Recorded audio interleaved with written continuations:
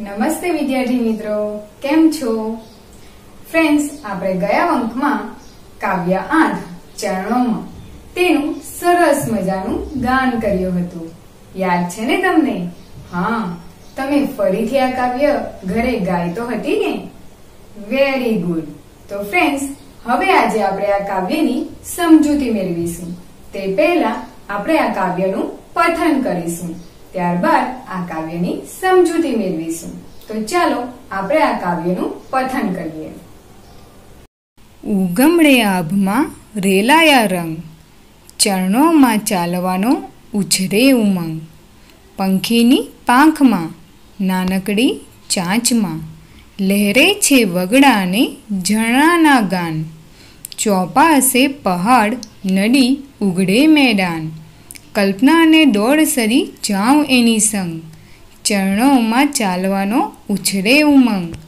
દૂર અને પાસમાં, લીલેરા ઘાસમાં, ધરતીની મહેક પીતો વાયુ ચકચૂર. ઝાંકણમાં ઝીણેણા કિરણોના સૂર. મન એમાં આરોતે મારી છલંગ. ચરણોમાં ચાલવાનો ઉછરે ઉમંગ. તો વિદ્યાર્થી મિત્રો હવે આપણે આ કાવ્યની સમજૂતી મેળવીશું. ઉગમણે આભમાં રેલાયા રંગ. ફ્રેન્ડ્સ, કોઈ કહેશો મને, ઉગમણે એટલે શું? ચાલો, આ દ્રશ્ય જુઓ. શું દેખાય છે? હા, સૂર્ય ઉગી રહ્યો છે. તો આ દિશાને ઉગમણી દિશા કહેવાય. તો તમે જોઈ શકો છો કે ઉગમણે જ્યારે સૂર્યોદય થાય છે, ત્યારે આભમાં કેવા રંગો દેખાય છે? જુઓ તો બોલો? હા, લાલ અને પીળા કેવા રંગો રેલાયેલા દેખાય છે ને? હા, તો જ્યારે સૂરજ ઉગે છે, ત્યારે ઉગમની દિશામાં આવા લાલ પીળા રંગો જાણે આભમાં રેલાયા હોય, તેવું સુંદર મજાનું દ્રશ્ય લાગે છે. છે ને સુંદર? હા, હવે આગળની પંક્તિ જોઈએ. ત્યારબાદ છે, ચરણોમાં ચાલવાનો ઉછરે ઉમંગ.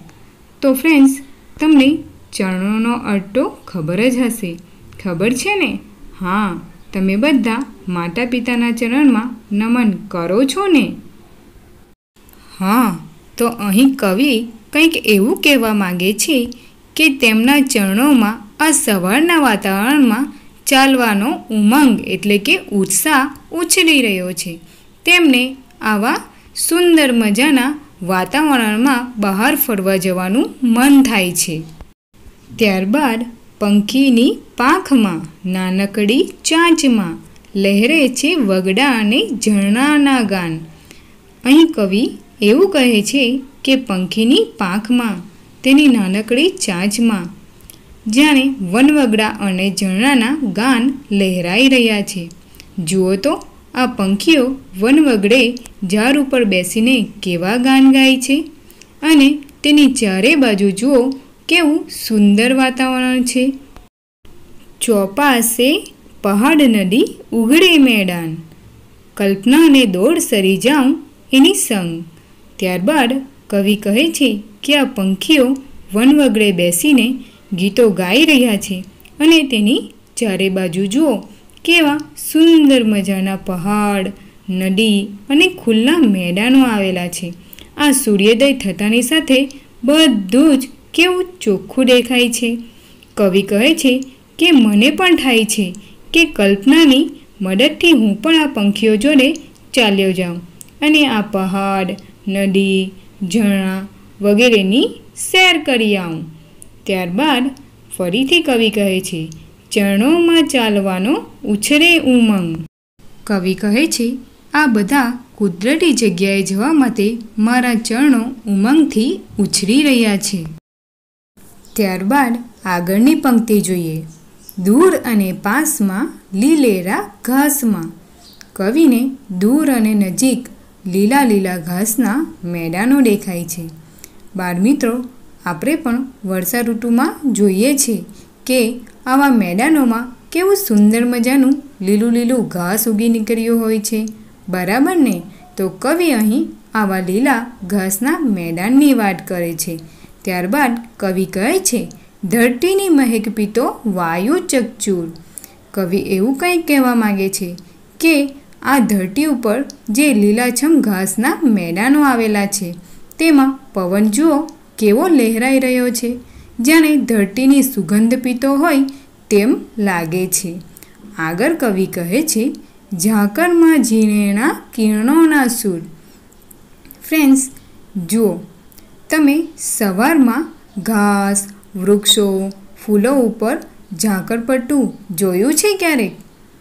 હા, પાણીના બિંદુઓ જેવું હોય છે. બરાબર ને? જુઓ, આ ફૂલ ઉપર ઝાકળના બિંદુ દેખાય છે. હા, તો આવા ઝાકળના બિંદુ પર જ્યારે સૂરજનો તડકો પડે છે, તો તે કેવું દેખાય છે? દેખાય છે ને એકદમ સુંદર મજાનું, જાણે મોતીની જેમ ચમકી ઉઠે છે. એમાંથી પણ જાણે સૂરજના ઝીણેણા, નાના નાના કિરણો નીકળતા હોય એમ લાગે છે. મન એમાં આરો તે મારી છલંગ. કવિ અહીં કહે છે કે આવા સુંદર મજાના દ્રશ્યો જોઈ મારું મન લાંબી લાંબી છલાંગો ભરીને તેમાં આરોટવા લાગે છે. એટલે કે આવા સુંદર મજાની જગ્યાએ જઈને કવિને આ બધી જગ્યાઓને જોવાનું મન થાય છે. તેથી કવિ કહે છે, ચરણોમાં ચાલવાનો ઉછરે ઉમંગ મારા ચરણોમાં આવી સુંદર મજાની જગ્યાઓ જોવા જવા માટે ઉમંગ ઉછરી રહ્યો છે. બાળ મિત્રો, આજે આપણે આ કાવ્યમાં જોયું કે સવારનું વાતાવરણ કેટલું સુંદર હોય છે. બરાબર ને? આવા સુંદર અને તાજગી ભર્યા વાતાવરણમાં કવિની સાથે ચાલવાનો ઉમંગ આપણને પણ થઈ ગયો ને? હા. ફ્રેન્ડ્સ, તમે પણ ક્યારેક વહેલી સવારે ઉઠીને આવા સુંદર મજાના વાતાવરણમાં ફરવા જવાનો આનંદ લેજો.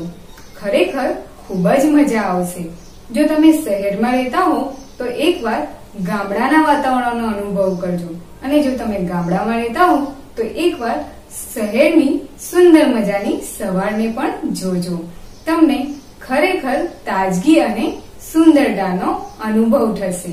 તો ફ્રેન્ડ્સ આવા જ સુંદર મજાના કાવ્યને તમે ફરીથી ગાજો. હવે આવતા અંકમાં આપણે આ કાવ્યના સ્વાધ્યાયની ચર્ચા કરીશું. તો ફરી મળીશું. આવજો.